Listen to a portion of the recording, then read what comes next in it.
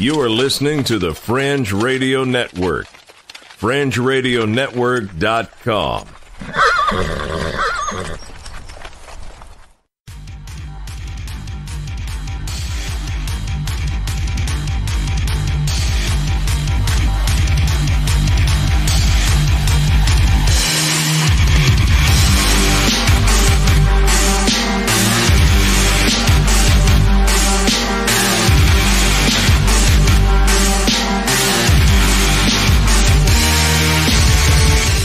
listening to Earth Oddity, a weekly odyssey into all the oddity planet Earth has to offer.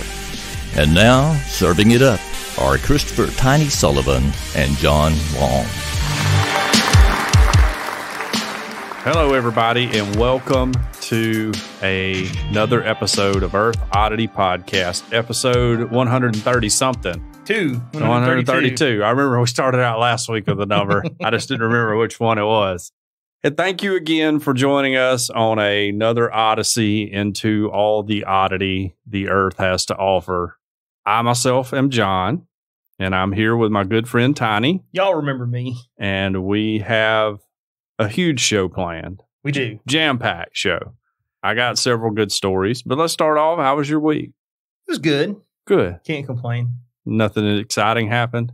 Well, nothing that I want to talk about on the podcast. Okay. All right. Date night was fun for Tiny. All right. That's all you need to know. All right. How about you? Um, I had a fine week. It was a normal week and nothing I'll care to elaborate on on the podcast either. So, Biden picked a VP oh, that's this right. past week. Yeah, that's right. That was big news. Ms. Uh, Kamala Harris. Is it Kamala? I've always heard it pronounced Okay. Kamala, but you may now be I right. could be wrong. No, I, don't only watch sports news, so I don't know. I, I was just wondering if Kamala, Kamala, I don't know. Okay. Right. Yeah. So she's going to be the vice president If, if elected. if Biden is elected, maybe she'll just go on and be president Right. right You off think the he'll bat. step down like day one? Like, I can't serve. Well, I mean, even if he is up there, he may be just a figurehead. I mean, like uh, like when Lurleen Wallace was governor of Alabama. I'm not trying to start anything, but we can I, we can all agree that he's slipping, can't we? I think so. I mean, I'm not trying to be mean and I'm not trying to be like partisan, but I, I feel like we should be able to agree on Right. this. well, let me ask you another unrelated but political question to you. Okay. Um, our governor, Kay Ivey, Right. she's gay, right? Is she? I think she is. I thought she just dressed that way. Okay. like she's Republican, so I don't know. yeah. But uh I, I just was thinking about that this week when I saw her speaking or something. Let's ask Google. Okay. Google knows everything. Google's not auto correcting. Let's see. Uh, AlabamaNews.net. Here's a headline Governor Kay Ivey fires back against accusation regarding her sexuality. Okay. I mean, it it's not a huge thing to me either She way. has spoken out against the accusation that John made just a minute ago that she is a lesbian. So- Governor Ivey, come on the show and discuss. okay. Yeah. No no judgment on my part. You know, whatever. It's a free country. But uh I was just thinking about that this week. I was like, she got the haircut, you know, she's never been married. She's got the pantsuit thing going on. So why not? The the popular belief that our governor is homosexual is mistaken. So Is it mistaken? that's what she says. Okay. If this was myth, bu- myth, bu- Mythbusters, I would say it was plausible. All right. That's all I'm Right. saying. It's plausible. We She- can't prove that it's not, right? Well, if she is, then she is in the closet about it. Yeah, right. And Which doesn't appreciate her right. you outing her on No. this podcast. certainly her right. That was talking politics with John and Tiny, and talking sexuality with John and Tiny, all in one. So, some stories I have to cover this week, which are phenomenal, would be uh, that a Chinese restaurant is weighing people before they eat. Okay. Okay. Now, this Are they trying to lose business? I was like, this isn't the buffet in mine, mine and Tiny's town. No. If you paint eyes on the back of a cow, like on the butt of a cow, right. uh, lions are less likely to attack it. Okay. Science is amazing. Hmm. And then Amsterdam, Progressive Amsterdam, has installed uh, pot plant urinals. No, urinals that are That potted pee in. plants. Yeah, that you can pee in. Nice. Yeah, potted plants that you can pee in on the street. I don't know why we don't have those here. New Orleans already has them, Oh, really? but not intentionally. right. but they already have them. I have used them before. Well, I have a story about a bald eagle that attacked a drone. We're going to talk about Kanye West again. We have uh, a we have some fun news on that, but I wanted to start with this. This comes from the BBC. U.S. calls for shower rules to be eased after Trump hair complaints. Okay. All right. The U.S. government has proposed changing the definition of a showerhead to allow increased water flow following complaints from President Donald Trump about his hair routine. You can't need a lot of water to wash That's that hair, thinking, right? I thought it like detached and then he washed it separately. he put it in the washing machine. Yeah, right. He run it through the dishwasher or something. Yeah. Under a 1992 law, shower heads in the U.S. are not allowed to produce more than 2.5 gallons of water per minute. I didn't know that. Yeah. I just thought they don't make them like they used to. I just thought shower heads stink now. Yeah, right. I figured cheaper parts or something. But apparently that's the law. The Trump administration wants this limit to apply to each nozzle rather than the overall fixture, i.e., every little bit. Like if you have a shower head that's got several, yeah, he wants one uh, two point five gallons per per nozzle. nozzle, on there. not the whole shower head Okay. Wow. You can be knocking some people down now. Yeah. Consumer and conservation groups argue that it is wasteful and unnecessary. The changes were proposed by the Department of Energy on Wednesday following complaints by Mr. Trump at the White House last month. Okay. So, uh, shower heads, you take a shower, the water doesn't come out. You want to wash your hands, the water doesn't come out. So, what do you do? You just stand there longer, or you take a shower longer because my hair, I don't know about you, but it has to be perfect. Perfect. His definition of perfect and my definition of perfect is different. right. You know? Okay. Not perfect hair. Yeah. I'm Sorry. sure he was being self-effacing then, right? Like he knows his hair is a joke, and he's like, "My hair's got to be perfect, y'all." Yes. Right. Andrew deLaski, executive director of the energy conservation group Appliance Standards Awareness Project, said that the proposal was silly. With four or five more nozzles, you could have 10, 15 gallons per minute powering out of the shower head, literally, probably washing you out of the bathroom. I already He said told- it. I didn't have to be in this group to know. he told it. He told the Associated Press news agency, "If the president needs help finding a good shower, we can point him to some great consumer websites that help you identify a good shower head that provides a dense soak and good shower." Okay. David Friedman, ex- vice president of advocacy at the organization Consumer Reports, said shower heads in the U.S. already achieve high levels of consumer satisfaction while saving people money. The proposal could face court battles if it advances, Reuters news agency reports. Okay. so, I mean, love Donald Trump, hate Donald Trump. It would be nice to have a, a shower head with a little more pressure. yeah, I? I agree with that. yeah. Now, um, I'm not going to say who, but I do know a person that had the restrictor things removed out of their shower. when they moved into a new house about a year ago.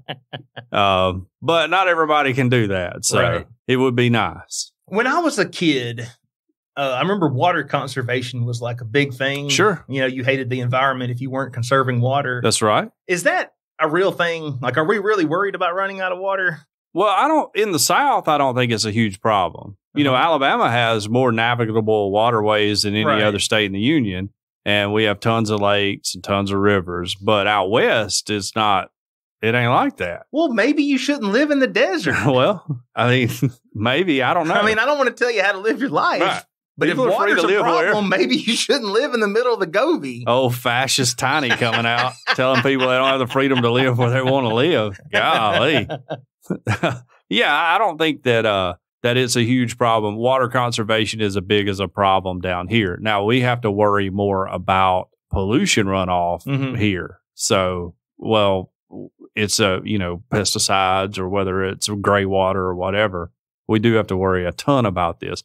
Now, I'm fired up about water conservation and conservation in general because I sat through environmental science merit badge class yesterday with my son Hudson, so I know all about it. Okay. And Hudson has made a commitment to take cold showers from here on out to use less energy. That's right. Huh. Yeah. What are you doing to help the planet, Tiny? Uh, well, I tell you what, I'll shop at Aldi and reuse my bags. Unlike Okay. some people. I reuse all my bags too. Okay. I, I, what do you think I put in my bath trash can? My bathroom trash can. Walmart bags. well, how often are you changing out your bathroom Once a trash week. if you need 50, once a week. 50 bags? Yeah, once a week. I Once a use them for other things like cat litter, Okay. um, to put dirty clothes in when we go camping. Mhm. Yeah.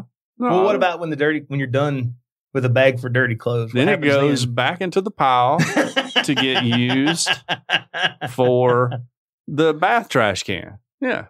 How many bags do you think you have on hand right now? I would say probably 150. okay. Yeah. Not too bad. Huh. Yeah. I could run through those in like a month, probably. You know how many plastic bags I have at my house? How many? I have somewhere in the neighborhood of 20 reusable cloth bags, Mm-hmm. zero plastic bags. Okay. Just saying. Good. What do you put in your bath trash can? We I put it in the can. I just uh I, I dump it in the it big trash. Right. Yeah. And it all just comes out. I mean, let's just say there's some products that your wife may or may not use that have, you know, like She has a way of wrapping need- them up inside the packaging. I would say you may So not, that- you may want to, you may want to hose that trash can out every now and then. Is we all I'm have a saying. can of Lysol. okay. All right. You're one of the few people in the world today who has a can. Sick brag. Tiny, low in the income bracket, worse than above all of us. He's got Lysol to spray in his trash cans. Yes. Golly. Yes, I'm so rich. I've got my can of Lysol and and great value blue corn chips. That's right. Wow. I guess if you shop at Aldi, you got a lot of disposable income for stuff like that. yes. Yeah. Well, Living in my 1100 square foot house, eating my blue corn chips. we did talk a lot yesterday. This has nothing to do with anything we did talk about, about how the Smokey Bear, only you can start forest fires, mm-hmm. have really been detrimental to the West because they stopped doing like control burns and stuff out there. And now they're having like raging wildfires. You know? Right. And in the South, we manage our forests largely with through control burns, so we don't have near the wildfires they do. Now, every once in a while, one will crop up, like the one that took out not Dollywood, but Pigeon Forge and all that last year or a couple years back. Yeah, a couple years back, we also had one in uh, Bankhead. hmm Now Yes. I got it out. But right. Well, Yeah. I actually went on a camping trip while that fire was Yeah. burning. I've, I've, We just didn't get close to it. yeah, right. So if you're not Yeah. close to it, you're fine. And yeah. So I just thought that was kind of interesting. We had a group of firefighters walk by yeah. and we offered them some water. my buddy's dad when he was in college my buddy's dad's a forester when he was in college they would work in the summer out west fighting forest fires and he said that a lot of times they would get them contained Mhm. and then let them burn for a few days so they'd make like an extra three or four days of hazard pay and he was like we'd just sit around and drink beer and watch the fire you know Right. he's like then we finally put it all out and go back into base camp so I listened to an episode of Stuff You Should Know where they talked about firefighters. Oh, yeah? And they said that there are certain species of uh, pine tree where the cones are actually something about when the, when a fire burns through, they actually Right. they open up, they crack open and seed the ground after fires. Right. Yes, that's true. You and know. pine trees have their barks naturally defensive against fires Mhm. too. You know, now you may have not known this. We have more species of oak trees in Alabama than any other state. And we have a ton of pine trees in Alabama. One of I did know I think our largest agricultural business is timber in Alabama. I did know we have a lot of pine trees. Right. And their bark is specifically made, you know, it's real thick and it flakes off. So another layer can grow Mhm. if there is a fire. So there you go. And that's talking environmental science with John and Tiny. Yes.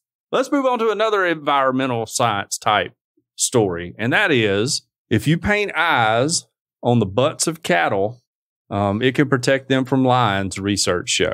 Hmm. Now, the picture here is amazing because those are some very detailed eyes. They are. Yeah. I mean, like, they got their mascara done and everything. that was like you know? Bob Ross. Yeah. Check out the link so you can see this. This is from sciencealert.com.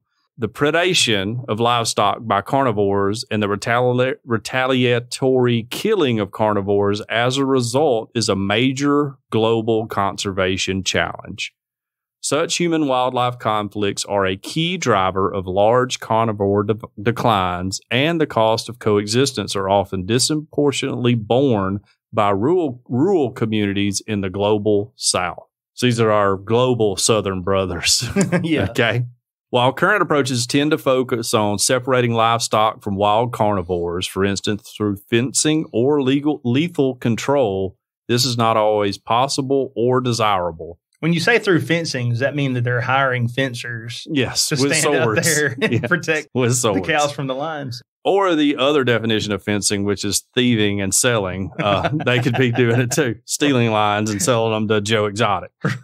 Alternative and effective non lethal tools that protect both large carnivores and the livelihoods of farmers are urgently needed. So, a new study we describe in a new study we describe how painting eyes on the backside of livestock can protect them from attack. Mm-hmm. Many big cats, including lions, leopards, and tigers, are ambush predators- predators. This means that they rely on stalking their prey and retaining the element of surprise. In some cases, being seen by their prey can lead them to abandon the hunt. We tested whether we could hack into this response to reduce livestock issues to lions and leopards uh, in Botswana. This delta, which is like the Okavango Delta region in northwest Botswana, has permanent marshlands and seasonally flooded plains, which host a wide variety of wildlife. It's a UNESCO World Heritage Site, and parts of the delta are protected. However, though livestock are excluded, the cordon fence is primarily intended to prevent contact and disease transmission between cattle and Cape buffalo. So, there's been a conflict between farmers and wildlife for forever, really all over the globe. This is that's Right. not not This is not new. yeah, not new to Botswana.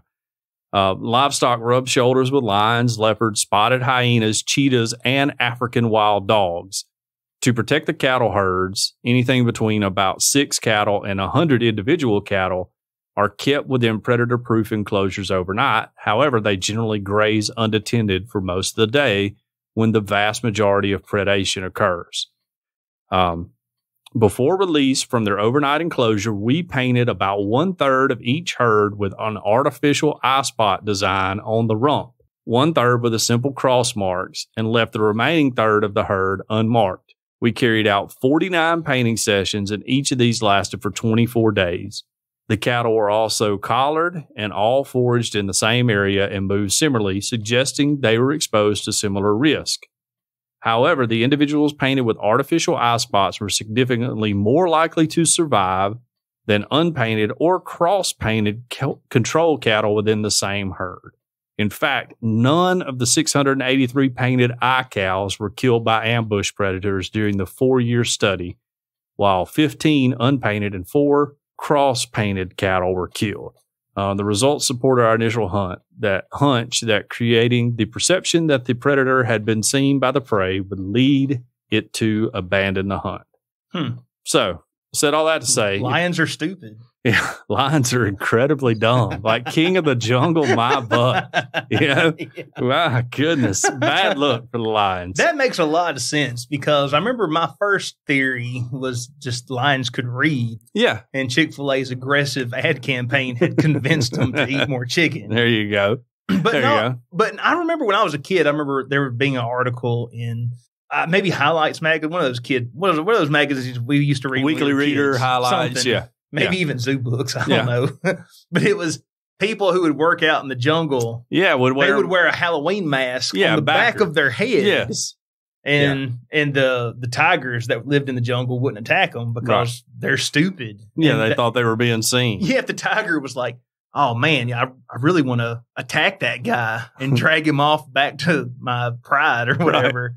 But I'm just a tiger. I'm too stupid. I don't know which one of his faces is the real one. The tiger's like, I would really like to lunge my 400 pound muscle filled body at this 150 pound villager, but uh, he's looking at me. I can't do it. You know? I mean, all these workers strangely have a William Shatner face on the back of their head. and I don't want to tangle with two headed William Shatner. So I guess I'll just crouch here in the grass and, and hope they don't come after. It Maybe- don't matter. I can see him chopping down the tree From the and other and direction. does anything. I'm just a tiger. I'm stupid. I don't know what I'm doing. Maybe the tigers hate Star Trek. Maybe. You know, Uh, it could be. Um, I join them in that sentiment. Sentiment, but uh, Yeah, I don't know. I would say though that since having an eyeball tattooed on my butt, my wife has not attacked it. So I feel like the science really proves itself here. yeah. Yeah, Big cats are dumb. I guess so. You would think though. Could you what could you do this to like a house cat? You got a house cat. I do have a house cat. Can you uh, put a, a mask on the back or paint? You need to paint an eye on uh, Jay Barker's butt and see if see what the cat does. well, the cat and Jay Barker they live in peace. Okay. Yeah. Now, if Julius was still here, we could try it with any of us because Julius was uh, he was a killer. you know? Right. I mean, uh, Julius the Wonder Cat, the greatest cat that ever lived, was a stone cold killer, and didn't matter that he didn't have claws in his front paws because we rudely had them removed before we knew that was not kosher to do. Right. But we loved our couch more than we loved our cat, apparently, and he was tearing our couch up. But he was still he. I mean, that cat was he was something else, Mhm. and people were like, "Oh, you know, my cat's you know mean or whatever," and I would just be like, oh, "Julius will kill your cat. Like he he does not care." do you think that would have fooled Julius, or do you think he would have seen I- through the ruse? Well, see, I think Julius was actually pretty smart because it took Mhm. him about a week to figure out that his claws in the front didn't work. hmm And so when I, um, Julius and I fought every day, every day. He loved fighting. I mean, he would, I was, he, you can ask my wife, he loved me more than anybody else. And we fought every day. and after about the first week, when he figured out, well, I'm hitting him with my front paws and it's not slowing him down any, he would grab my arm with his front paws, lock in, bite my arm, and then scratch me with his back feet on my arm. and that was his like number one mode of attack. He would run and jump at me like that and then attack me. So Julius, I don't, I don't think it would have fooled him. I imagine Julius getting booked on a speaking tour overseas, where he just shows up and he's telling all these tigers and lions, "You idiots! Yeah, It's a plastic. It's not real." Am. I miss Julius. I'm now sad because I'm thinking about him. Built him an Indian mound, by Mhm. the way, you know, or Native American Yes. burial mound. I don't know if I've ever told you that. You've mentioned it. Yeah, it's about about six feet tall. Nice. By the way, yeah, and in Moundville, no less. well, close to it. yeah. It was behind our old house. Those people we sold it to are selling that house now too. I want to go dig up Julius's bones and move him to my property. You know, Let's like do it. if they move out and leave the house unattended, I promise you I will. nice. He doesn't need to be around strangers. that cat was I know why Egyptians worship cats. You know, like if you have a cat like that, that Right. would protect you from harm. well, John, I know how to cheer you up. Okay. This is now. This is something that never fails to cheer you up. It's Okay. Kanye. Okay. Love Kanye. We're going to talk about Kanye. Kanye, or we're we're we're tight. Hey, Jacqueline, if you're listening, the skip button is right there beside the play button. If you just want to skip over this, So Jacqueline's anti Kanye? Well, I, she's definitely anti people voting for Kanye. Ah, okay. But you know me, I mean, I'm one of those people who just wants to watch the world burn. Now, I say go Jacqueline for it. Jacqueline doesn't like Trump as much as any American I've ever met. You know? Yeah. like you don't even he's not even in your country. What? Well, I mean, maybe this is just American politics, but like Justin Trudeau, I don't know anything about Justin Trudeau. I have I don't I no opinion he, on him. I know he wore blackface one time. That's the Brown only thing I know. All right. What's the difference? he was. Was it a genie? He was dressed as a genie at a Was he? party. I don't know. I don't know. I don't know. Like we're American. I don't pay attention to other countries' politics. I don't know what's going on. but like Trump is universally hated. Yeah, well, I mean, everybody hates our president. Mhm. Generally, every president we've ever had, yeah, the rest of the say, world's there's not a hated. single Yeah. president. Every president has his base of Yeah. people who love him. Everybody else hates him. I mean, people forget they were burning effigies of Barack Obama in the streets over in the Middle East too. You right. know, like Yes. I mean, he committed some war crimes himself. all right, but we forget that. But anyway, uh, this comes from the Milwaukee Journal Sentinel. Kanye West campaign says that he belongs on the ballot even if his nomination papers were late. Okay, Fate of Kanye West presidential campaign in Wisconsin may be coming down to a matter of crucial moments. West campaign is arguing that he belongs on the presidential ballot in Wisconsin, even if his campaign turned in his nomination signatures. Let me just ask you this, okay? 5 p.m. on August 4th was the deadline. hmm What time do you think he turned his in? um, eight a.m. the next day. Five o'clock and 14 seconds. Oh, for real? he was No, he was Oh, 14 seconds late. It doesn't count until it clicks over to 501. You know? It doesn't count until it clicks. I'm with Kanye on this. I'm so glad you said that because that's precisely what his lawyers Right. are arguing. like it's not a whole minute and went by. right. Yeah. Oh, they're they're uh that they're trying to get it. This Well, is voter hey, suppression this right is here. this is Wisconsin right. They went red Sure. in 2016. That's right. And yeah. they're, they're they don't want that to go happen again. That's what's going on. There's a deep state doesn't want Kanye on the ballot. The 23 page document filed Monday says that a state elections commission staffer told a West campaign aide that she turned in the nomination papers 14 seconds Oh. after the deadline. State so it's on the state.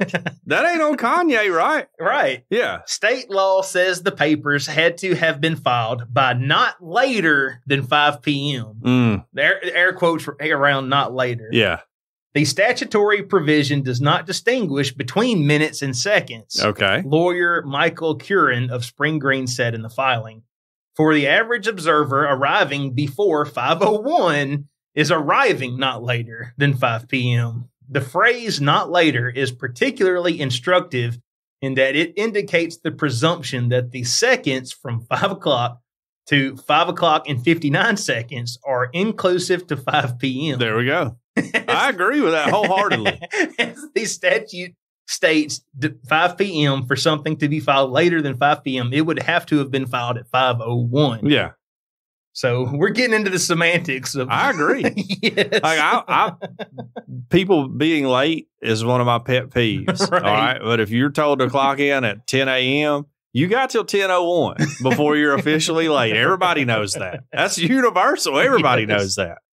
Beyond that, Kieran argued that the nomination papers should count even if his campaign was late. He said that West Team was hindered by state election officials who Mhm. locked their agency's doors and an overly aggressive media and Democratic operative. Oh, no. Even assuming filing was not timely to begin with, the commission should find that the nomination paperwork was timely filed here due to the locking of the commission's doors, as well as the interference of the media and a rival campaign. Wow.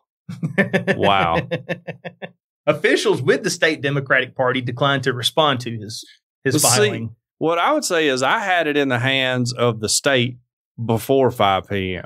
right. and you guys dropped the ball on this. So y'all got to take the hit on it. You know, y'all, your clerk has to file this paperwork for me. Mhm. I can't come behind the counter and do it myself. So this is on y'all, Right. you know, and I wasn't at 501. I was 14 seconds past when she actually put it in. And then also here it says that the challenges also suggest there are numerous problems with his nomination papers, Okay. including incorrect addresses for cir- was that uh circulators? I guess that's uh I have no I don't idea. know. I don't know. But also bonus signatures such as Mickey Mouse and Bernie Sanders. Okay. You telling me you can prove Mickey didn't sign it? You know? Well, once again, that's what his lawyers are are demanding. They're like, prove that Mickey Mouse Yeah. and Bernie Sanders didn't sign this. I mean, Mickey, I mean, he probably resides in Florida, so that may be a problem. But you're to have to show me. he he might have a he might have a summer home. Yeah. Yeah. He goes north for the summer. yes. Yeah. He's got a lot of money. He's probably got houses in every state. Yeah, Mickey, you talk about the richest people in the world. Mickey Mouse is up there. I mean, I would just, I would love uh, Bernie Sanders. Yeah, he probably didn't sign it. I don't know. I can see Bernie supporting Kanye. but Mickey Mouse being like, "How dare you? I love Kanye West." That's a pretty good Mickey impression you got, you know? well, I've watched a lot of Mickey Mouse Clubhouse, Okay. so, All right. It's a surprise tool we'll use later. so we'll just have to see uh, what happens. But as of now, he is he's on the ballot in what state was it? Colorado, maybe?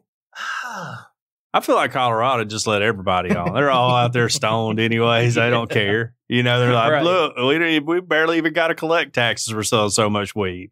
but maybe I don't know. He may or may not be on the ballot in Wisconsin. Yeah. Well, I wish him the best, you know?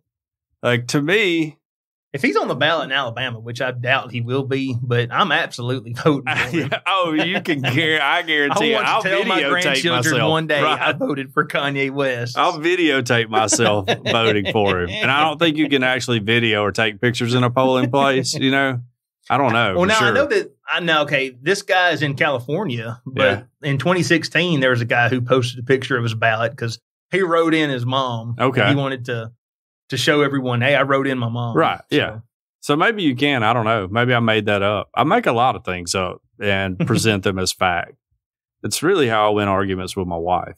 But yeah, I, I hope Kanye gets on the ballot. Let's move on to Amsterdam. Everybody, speaking of smoking pot, right? right. Everybody loves Amsterdam. Um, Have you ever been to Amsterdam? never been to Amsterdam. Me neither. I have known my whole life that I should steer clear of Amsterdam. Yeah. right. like you got to know your limits. and that is a place where I would end up either dead or in some sort of like international controversy. I just need to stay away from Amsterdam. So, mind your P's is the headline here from Dutch News. Amsterdam installs plant pot street urinals to improve toilet manners. It erodes historic walls, creates a stench, and may even le- may even lead to the deaths of several young men a year who try to use the canal late at night. For real? Yeah. So now Amsterdam is trying to make wildplassen, which is urinating outdoors, better for humans and for the environment by investing in a set of GreenPee urinals. Hmm. GreenPee being the, I guess, assume trademarked name for these. Now, are these plants that can? Live with a high acidic yes. soil, I guess. I don't know if your pea's acidic or not. I've never done a pH test on it. Well, now I do know that if you pee outside in the same place, Yeah, over no, and it'll over and over, brown your grass up. Your grass. yeah, no, straight up. I've been drawing my got to spread name it around. been drawing my name in my neighbor's yard for about two months now. It's finally starting to work. Uh, From Friday evening, late night, drinkers in the red light district uh, will be able to use 12 new facilities, which are plant pots during the day and urinals at night. The urine will be harvested for its phosphates and recycled as clean water, while the hardy plants are fed only by rainwater thanks to a reservoir and a series of wicks inside the soil. My ambition is to place these in different cities and carry on innovating. Richard de Vries, inventor of GreenPee, told Dutch News, We can make electricity with urine, and it would be good if it could power a light. Maybe it could be a city announcement board for public health messages too. Now, how do you make electricity with urine? I'm no scientist. I don't know. I, mean, I don't know either. It seems like if we could do that, right. it seems like that would really be good for the world. I've saw a funny urinal picture that had like a little turbine in there and it was like aim here and it would spin the turbine. There was like a light bulb above the thing. yeah. But I was like, that's not practical because the splash factor is going Right. to be too much coming off of a spinning tur- turbine. So turbine. Turbine is, you don't want to be peeing on turbines. Okay. That's racist if you're doing that. Turbine. Turbine. Yeah. If you, if everyone pooled their urine, Okay. Yeah. pardon the pun, Yeah. you could uh, run it through a turbine then, Yeah. and True. that might do something. sure. Probably not much because I don't know. I don't know either. Okay. Well, he goes on to say if you want a solution to wild peeing, wild peeing is Tiny's Who wants fetish. a solution to Yeah. that? uh, cities try to create ownership and a feeling that someone is watching you, he said. That works, but the need for peeing stays. That's very true. Mhm. Um, we came up with the idea of a planner to help green the city, have something that looks nicer, but is also a urinal. It's also circular as we make fertilizer from the urine and also green water. Four models were temporarily temporarily placed in and around the uh, Rembrandtplein. That's the red light district. Oh, I know that. Yeah, last year. And an independent s- study suggested on one street the uh, public urination decreased by 49%. So pretty much cut public peeing in half, which is nice. Right. Uh, a study showed that green peas don't create smell problems, and we will monitor whether that continues to be the case, said Amsterdam City in a press release. The new green peas have also been further developed and improved in terms of sustainability, user privacy, recognition, and discoverability. Which I would say privacy probably your main concern Mhm. here. A single unit costs four thousand. I'm going to say pounds because I don't know what they use. Euros, maybe euros. Maybe. Let's just say euros. I think they all use euros. Uh, and doubles. All right. Oh, a single unit costs four thousand euros, and doubles cost five thousand euros. Uh, and there are ongoing maintenance costs for collecting the urine, cleaning it, and delivering fertilizer for local green products. So, anyways, If it works as good as the article Yeah. makes it sound, then this is great. let's roll them out for football season in Tuscaloosa. Let's get 'em. People pee on the street in Tuscaloosa. I mean, we like to act like it don't happen here, but Mhm. I have peed on the street in Tuscaloosa after a game. Really, not even after a game, just after a night out. So, Right. yeah, um, I think it sounds like a great idea. And if you can do something useful with it, then that's even better. Can women use these GreenPee urinals? From the pictures in the article, it does not appear to be set up for women. okay, well, I Which see is that being a tough. problem. Yeah, that's a that's going to get some complaints. that's a tough one. But can't they use the? Isn't there a pee funnel? I've seen on Wish.com uh, an attachment you could use. Yeah, yeah. I don't know. I'm I'm I'm in the dark on the plumbing situation for women. you know, right. I mean, I got the general gist of it now. I know what I need to know. You know, for my own personal uses. I had a set of world books okay, when I was a kid. Yeah. but everything else, I mean, like I don't I don't know about any of that stuff. Mhm. So yeah, it's gonna be a little tougher for women. But I've seen women peeing outside too. You gotta go, you gotta go. Yeah. Man, that's, it doesn't matter if there's a law against it or not. So, ladies, just let us have this one, please. I mean, really, yeah. Just give us this one. well, uh, you know, I mean, if you will let us pee outside into into planners like this, then that really opens up the bathroom capacity for you. You know, Right. like y'all can go to the men's room. Mhm. We just turn that into a ladies' room too. We'll have one stall for number two. Yeah. Well, men yeah. could use if Good. they had to. John will gonna- never use it. No, that reminds me. I got a story about that. I need to tell. But uh, yeah, you don't. If you're out on in the red light district in Amsterdam, you don't want to have to go number two. There has been something that's definitely happened there. All right. Well, this is going to be my last story here. And uh, thanks to Miss Jane Updegraff for posting this in the group. Bald eagle attacks state's $950 drone and sends it to the bottom of Lake Michigan. There we go. USA, Yes. USA, USA. In what state officials are describing as a brazen attack, a bald eagle recently snatched a $950 drone. Let's just round up a $1,000 drone belonging to the state of Michigan that was being flown to document shoreline erosion damage in the Upper Peninsula. After a brief tussle, the big bird ripped off one of the propellers from the small spinning aircraft and sent it to the bo- bottom of Lake Michigan. The drone was being operated by a pilot from the Michigan Department of Environment, Great Lakes, and Energy, which the uh, the acronym for that is E EGLE. That's perfect. when the July 21st attack occurred.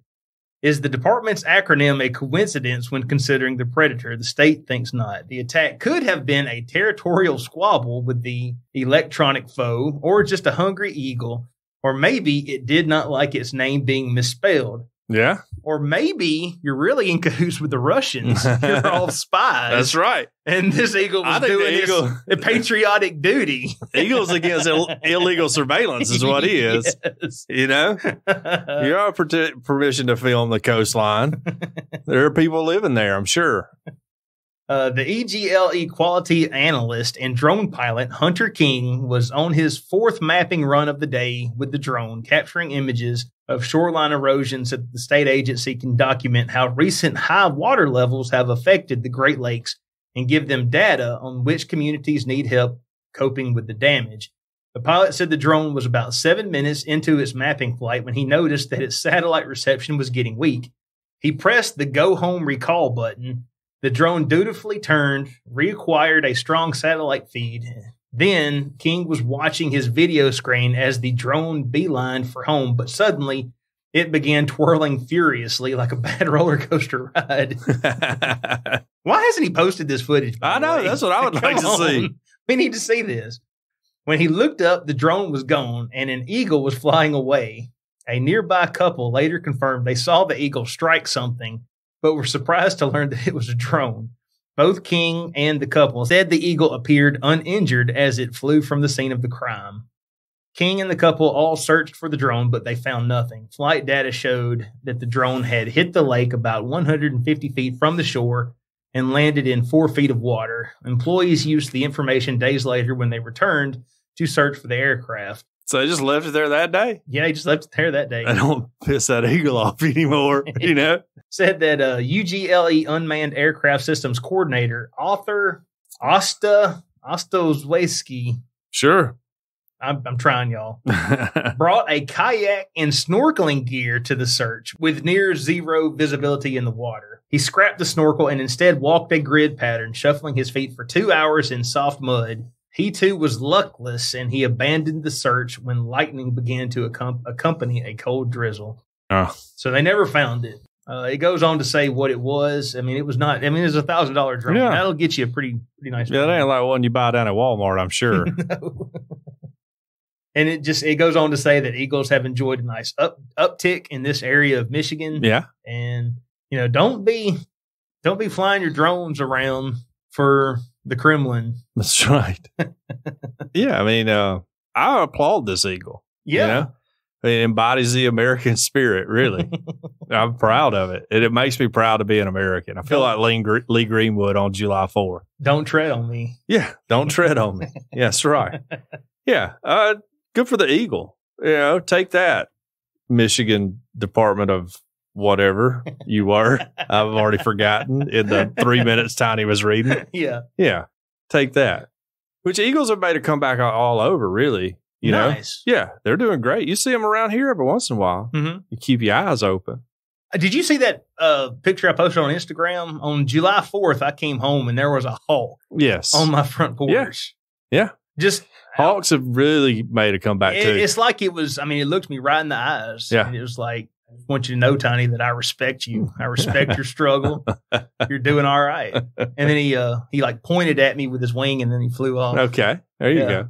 I mean, I That's the message I took from. Yeah. I don't want to brag, Tiny, because I don't want to like steal your shine. but once when we were at the backyard of the old house, a hawk caught a squirrel and ate it on the roof of my house in front of me and my kids. nice. yeah, it was awesome. Yeah, we watched it and Mhm. I was like, look, kids, it's a circle of life, you know? Yeah. Just know that if you're better armed and have uh, air superiority, you normally win the match. So, yeah. so anyways, let's move on to my last and final story too. A China restaurant apologizes for weighing customers. now this isn't a Chinese restaurant in Tuscaloosa. No, this Is it? in China. I was gonna say Yeah. they're gonna need some heavy duty Yeah, scales right. if they're gonna be doing You that. have to break out a cotton scale for us, you know. You're gonna be weighing me. Um, like that one they used on the Biggest Loser or That's something. right. That's right. Which, speaking of which, my boss is like, "Hey, I tell you what, John, I will pay for a gym membership for me and you, and we can go work out." You know, he's like, "Cause I think being we need both need to be physically fit." Now, Shane's not overweight in any way, Right. You know, I think he was just saying, like, "Hey, buddy, you getting a little chub chub here? You're like second in command You're of this face company." of this company. You're second in command of this company. I don't need you falling over dead one day. And I was like, no, you know, let me think about that. I'll get back to you. And I just haven't brought it up since then. Tell him you're gonna uh, your buddy Tiny's gonna need one too. Like, I don't want to go work out every day. That's why I'm fat. You know? Anyways, a restaurant in central China has apologized for encouraging diners to weigh themselves and then order food accordingly. but Chinese don't play around. You know, they'll just straight up hurt your feelings. well, you know, if I'm trying to sell food, you know, yeah. and I'm the business owner, I don't care how much you weigh or what you look Exactly. like. I just want to sell you some wontons, you know? The policy was introduced after a national campaign against food waste was launched. Now, food waste, huge problem, It is. especially in the in the United States. So, uh, the beef restaurant in the city of Changsha placed two large scales at its entrance this week. Just imagine the outrage! like Facebook would blow up. Well, if it was for men only, it would be funny. Yeah, Everybody true. would love it. But Yeah. the minute women start getting up on there, it's going to be an outrage. Which I did tell Shay my fitness goal was to be able to shop at Walmart without being on one of those carts. you know? and, and so far, I'm I'm doing pretty good on that. Uh, it then asked diners to enter their measurements into an app that would suggest menu items accordingly. Signs reading "Be thrifty and diligent" promote empty plates, and Operation Empty Plate were pinned up. Uh, the policy caused uproar on Chinese social media. I bet you Chinese social media is a wild time. You know, right. Well, if you can, if you can get past the all the, the firewalls. firewall, Yeah. if you can get to, uh, like the dark area yeah. of Chinese social media, it's probably a good time. Hashtags about the restaurant have been viewed more than 300 million times on the social platform Weibo. The restaurant says it's deeply sorry for its interpretation of the National Clean Plate campaign. Our original intention was to advocate stopping waste and ordering food in a healthy way. We never forced customers to weigh themselves, it said in an apology posted online. Now, President Z, Z is that Z? I think I Xi- think it's G. Xi? President G. ignited the campaign this week calling for levels of national food wastage uh, calling the levels of national food wastage shocking and distressing Mm-hmm. So following Xi's message the wuhan catering industry association i will not be using the wuhan catering association We're just going to be the WCA. yeah. Urged restaurants in the city to limit the number of dishes served to diners, implementing a system where groups have to order one dish fewer than the number of diners. Uh, State TV also criticized live streamers who filmed themselves eating large amounts of food. And there you go. That's Hmm. the end of the article. China doesn't want to turn into like fat America. you know, we're all overweight. And so I don't hate the idea, you know, but it would never go over here. No. If you think people don't want to wear a mask, tell them they got to get on a steak on, on a scale before they go to like Ryan's buffet or something. Yeah. Which are Ryan's still a thing. I mean, I don't know. Ours it's is not closed, here. right? Yeah, ours is closed down. Um, but used to, Ryan's used to be the spot when I was real little. Or really, Quincy's used to be the spot when I was real little. Remember Barnhill's? I remember Barn My grandfather, yeah, God rest his soul, he loved Yeah. Barnhill's. Deidre's grandfather would take all of us, the whole family, to Quincy's when he'd get his farm check every year. that was our big dinner out. You, know, you get whatever you want off the buffet. Well, Uh, then the big fat yeast rolls. big roll. fat yeast rolls. Man, yes, good. they were good. They're so good. I would kill for one right now. Man, I want to go to Quincy's. Man, Yeah, but so I, I I don't know that the large buffet industry hasn't just faded out. I mean, what could go wrong with thousands of Americans shoving their hands into dishes that were all communally sharing? I was about to say, I don't think there are. Are there any? I don't know. There may be I like can't think of the last time I saw one. uh, there was a there was Buffet City. Yeah, now one of those Chinese buffets. The Chinese buffet. there may be a few of those around. yeah, is the one in Norfolk still there? okay. Yeah, the It's one over open? in front of uh by now. Taco Bell and all that. It's yeah, on. It's gonna. It's gotta close down, right? because Yeah. people don't want to do. I mean, Mhm. people have finally realized like I don't need to be sharing, you know, the same utensils as the guy with coronavirus has. Because I might catch a cold that Yeah, could kill my grandpa, but I'll probably Right. be okay. there's nothing about Chinese people before somebody gets mad and calls in. buffets. We're talking about buffets Right. in general. Yeah, yeah. The buffet concept I think is going by the wayside. hmm I don't know though. Maybe we bring it back. I don't want to go in the restaurant, but stop me before I try to do this again. I've already lost all my money once. There's a show that is on Hulu. It's called Eleven Twenty Two Sixty Three. Okay, Have you ever heard of it? never heard of It's it. It's been around a while. It's about four years old, but it is good. It is Okay. an eight episode miniseries about a guy, James Franco. I know James Franco. He finds a portal that goes back to 1960 Okay. and he wants to prevent JFK's assassination, but he has to live there for, you know, three or four years or so. Right.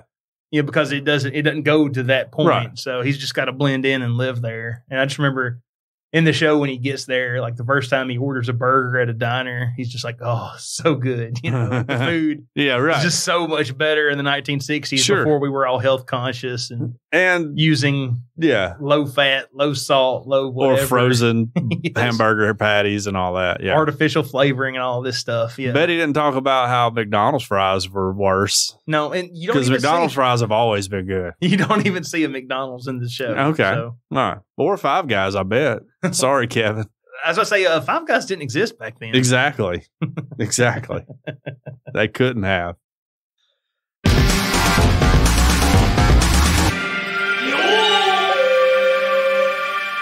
Well, all this buffet talk has made me a little hungry.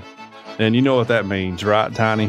What does it mean? It means we're going to talk about world famous Cajun Curl by Bayou Blended Spice. And we want to thank them for their support and everything they've done for us. We love Cajun Curl. Our listeners love Cajun Curl. So people were talking about it in the pa- in the uh, Discord this they week. were.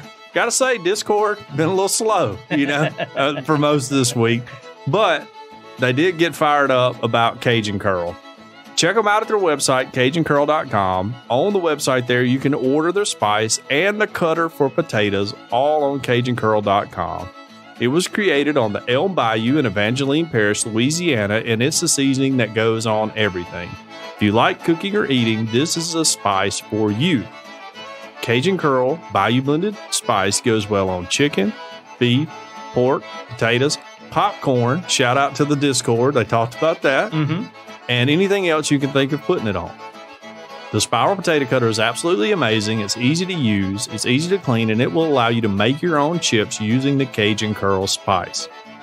If you want to turn your next cookout or tailgate up a notch, imagine whipping up a batch of homemade potato chips. Your next door neighbor isn't going to be able to top that. They're going to be over there trying to open up their bag of Lay's or Golden Flakes, and you're rolling in with some homemade potato chips. Just big hatting everybody in your group. Like, Yeah. oh, wow. Oh, so you bought yours at the store. I made mine at home. You sprinkle the Cajun Curl spice on there, and it'll change your life, change your neighbor's life. You're going to elevate your social status. There's really no downside here. On the website, CajunCurl.com, you can not only order the original Bayou Blended Spice and the, ch- and the Cajun Curl chip cutter as well, but you'll also find recipes that are absolutely mind blowing. You can locate your nearest retailer or order your own. If your local grocer doesn't carry world famous Cajun Curl Bayou Blended Spice, ask them to start stocking it now. Now, here locally in Tuscaloosa and Northport, it's available at Bowles Fresh Market on Skyland Boulevard, South's Finest Meat, Mark Smart in downtown Northport, and Piggly Wiggly on Lurleen Wallace Boulevard in Northport as well. All their products are made in the USA, so not only do you enjoy the taste of Cajun Curl, but you also feel like a bald eagle attacking a drone, a state owned drone, while you enjoy your meal. It's all natural, it's low salt, and it has a little kick to it, but it doesn't burn your lips. World famous Cajun Curl Bayou Blended Spice. Taste the spice, but not the heat. Check them out at CajunCurl.com and use our promo code EOP10. That's EOP and the number 10 to get a 10% discount. Because we ask that you use the spice, but we don't ask you to pay full price. That's right. All right, John. What do you say we go to the phones? Let's go to the phones. We got Psych. phone calls? No, we really don't. no, we do. Oh, dang. I was going to be like, my feelings were going to be hurt if we went two weeks without that any was phone a double calls. psych right there. Well, you got me. Uh, we got a phone call from our friend and your sister, Yes. Jacqueline. All right. Hey guys, it's Jacqueline. Uh, sorry I didn't call in last week. Um, I was incredibly busy. But I'm calling in now, even though I'm still incredibly busy, because I don't want to hear you guys talk about football for another 10 to 15 minutes. No offense. Uh, well, maybe some offense, but oh my god, football is so boring. All right, pause this call. Pause this call. There we go. Look, Jacqueline, there are things that are important to some of us that aren't important to other people, right? and sometimes you just have to sit through those. I sat through like three hours of my wife watching some show on Netflix yesterday that I had no clue what was going on. She never attempted to even uh, tell me what was going on. And I just let her do it because it was important to her. What right? was it? Some rainbow something. I don't know. It was on Umbrella, hmm. Rainbow Umbrella. I don't know. The what- Umbrella Academy? Maybe. Okay. I have no idea. I really don't, but it's on Netflix. I haven't seen the Umbrella Academy, but I'm curious. Okay. So, Well, Deidre claims that it's good. okay. Enough, have to watch enough it. to ignore me for three hours on date day. That's wild. So get over yourself, Jacqueline. That's all I'm saying. All right. I love you and everything, but don't start talking about something that's important to me like it's bad. Okay. Although it is good good that she's she's got with the program. Yeah, You know, that's you right. have to you have to give us something to talk about if you don't want to talk about. That's right. If y'all, if y'all don't call in, I'm going to talk about football every time. Anyway, on that note, um, the episode was great. Not as great as the uh, you know 30s and 40s episodes, but you know it was it was still pretty good. Um, I think about Mount Rushmore. Obviously, Trump shouldn't be on it. Obviously, but um, if they were to add another president, um, maybe not in my lifetime, but the first Native American president would be a good president to add. Um, so yeah, thoughts on that. Do we have a Native American president? I don't Not think yet. we've had one. They've all been white dudes except President Obama, right? No, no, no Native American presidents, as far as I know. We need one to run. Yeah. But we could put James Buchanan up there. You know, he's like the first gay president. People don't know, but he was. his boyfriend was his eh, was his vice president was from Alabama. He's buried at Selma. Well, now hold on. Abraham Lincoln's on Mount Rushmore. He was a gay president. He wasn't gay. He's married, and he was a vampire killer. There's there's some interesting stuff there. Okay. All right, maybe so. I don't know. anyway, Um, I have friends and family in Alberta, and I have sent them all the request to get me that beer um, from that brewery in Alberta. Um, and if I get it, I will definitely send photos and post them on uh, the interwebs. nice. Great. Um, and the last thing about the Trailer Park Boys party on a on a yacht, that just seems wrong. Um, first of all, the Trailer Park Boys are a cultural phenomenon that should not be used by rich people. Um, and I, I know that they are they are rich people because they have a yacht. So it's it's a little offensive to have um, the lifestyle portrayed by rich people. Also, is that really the kind of show that you know Baptists want to be promoting? Even No, if it is it's not. All right, easy. I do enjoy the show as a Baptist. I do enjoy the show. You I- keep that on the DL though. but I don't roll that out during Sunday school. you know? right. Right. Okay. Yeah. Certainly not uh, president of the most conservative Baptist university in the nation. Yeah. No, I agree. I agree. you know, as a joke. Um, why are they even watching that show in the first place? Even though they, you know, they should. But why are they even watching that show in the first place? Anyways, uh, no more football talk. Love you. Bye. Is Jerry Falwell Baptist? Mhm. He is. Well, uh, supposed to be. I mean, I don't know. Yeah, yeah, yeah. I believe. Jamie, fact check me on that. oh wait, we don't have a Jamie. I'm uh I'm googling it right now. Is Jerry Falwell Baptist? Yes.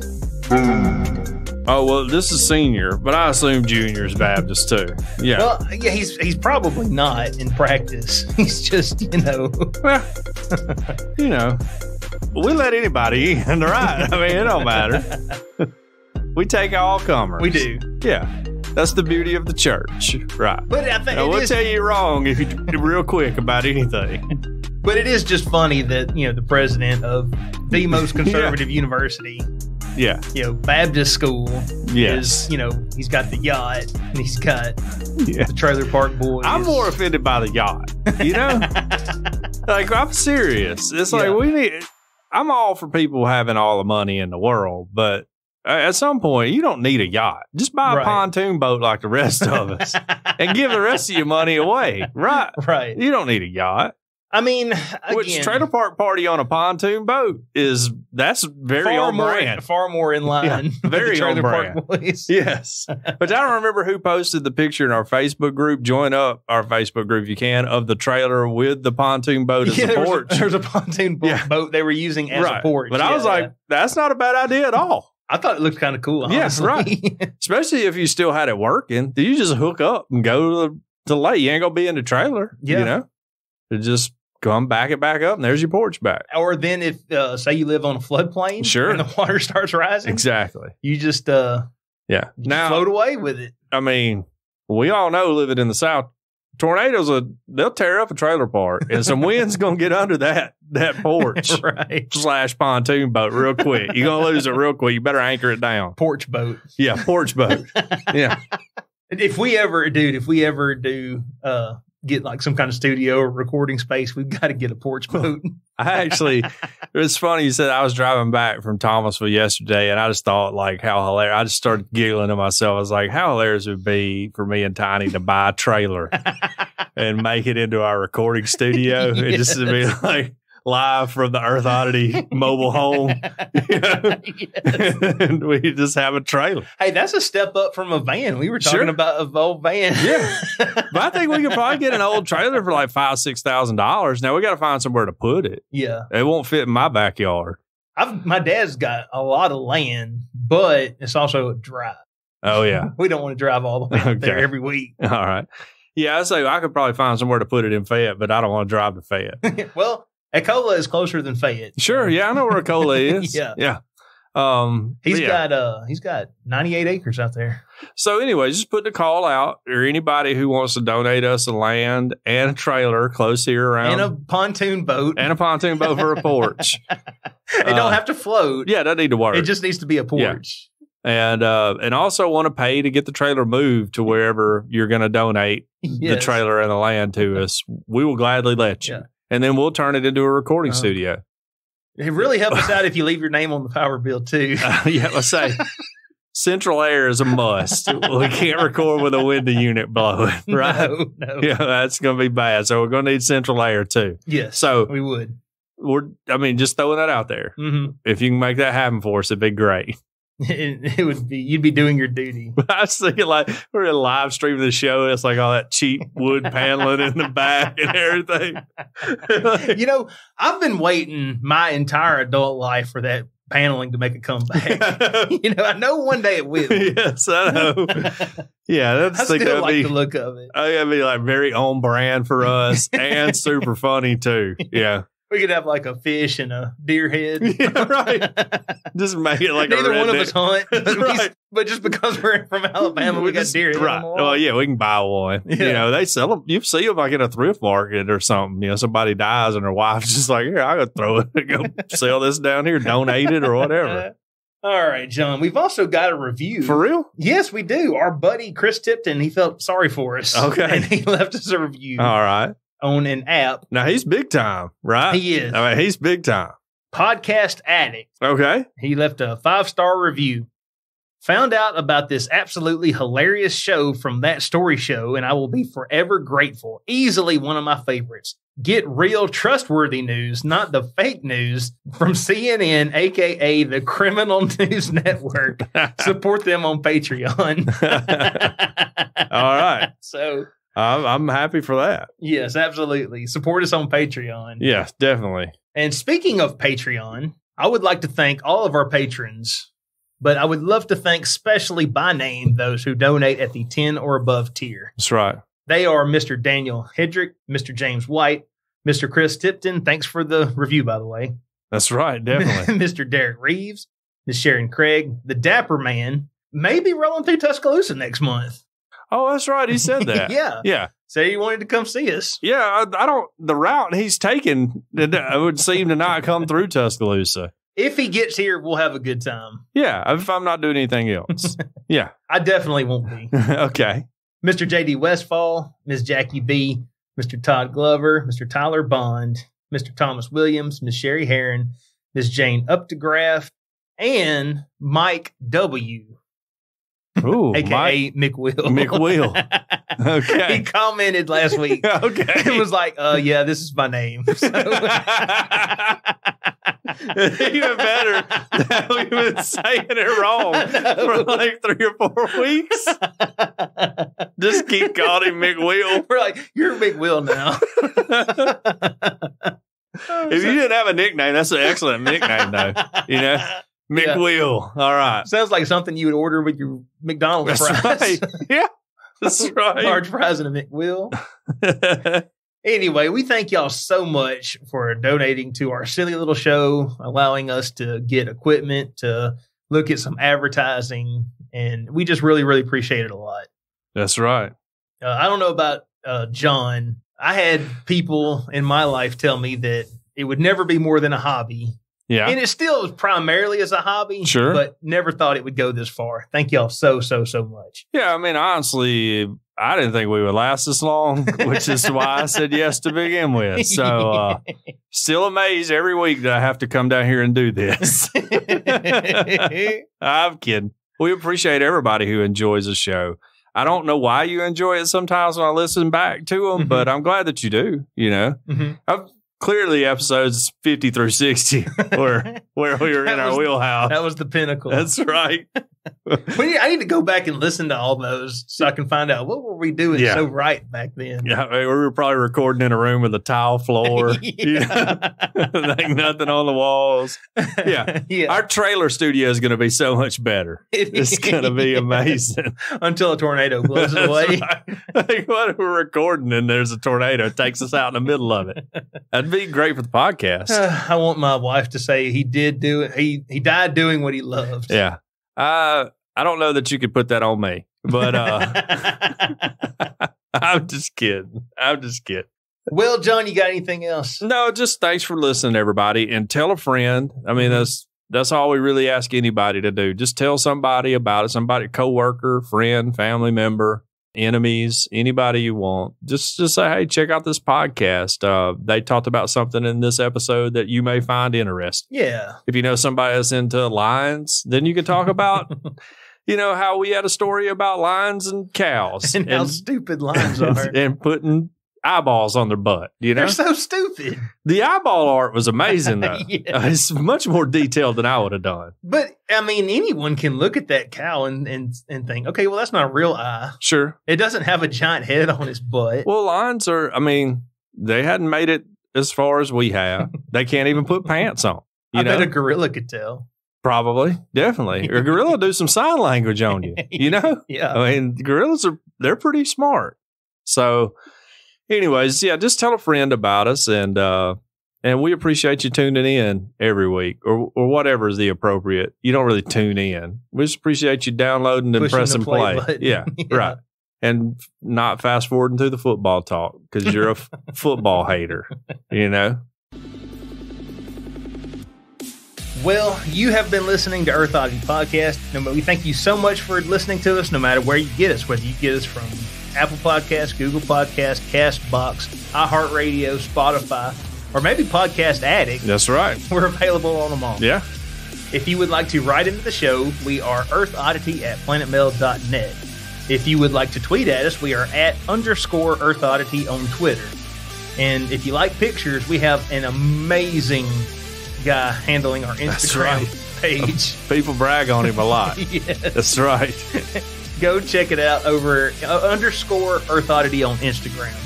Yeah, follow us for real, y'all. Yeah, yeah. I mean, I, people are ranting and raving about how good the Instagram account is. Don't hear a lot of talk about Twitter. I don't know why though. It's crazy, No. weird. And by far the best way to get in touch with us is our handy dandy phone number. What's that phone number, John? That's 662-493-2059. That's 662-493-2059. We hope everyone out there has an excellent week. Earth Oddity for the Fringe Radio Network signing off. Love y'all. Bye. This has been a very odd production. Thanks for listening.